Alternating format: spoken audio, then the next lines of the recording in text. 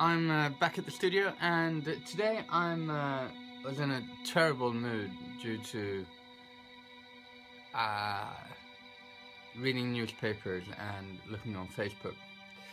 So what I did was that I thought I'd try a little experiment, and that is to uh, have uh, my uh, use the modular and use a very simple sequence and send it through the Mel 9 pedal and then do like a big uh, ambient thing that would be moving very very slow. So this is two uh, two takes and then I'll do probably four or five of them and then I'll do a cloudy thing. So what I'll do now is I'm gonna let this run and then I'll be back in a while and I'll play you the final thing. Alright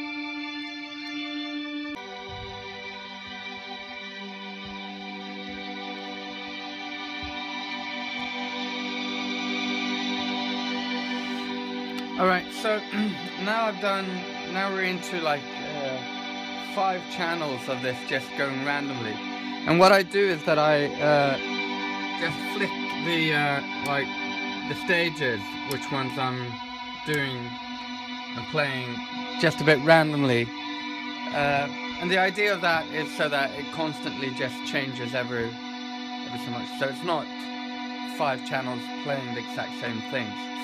And what I'm probably going to do now is that I'll uh, do a mix of this and then I'll do a phasing thing with it. And then I'll pull that out through the reverb.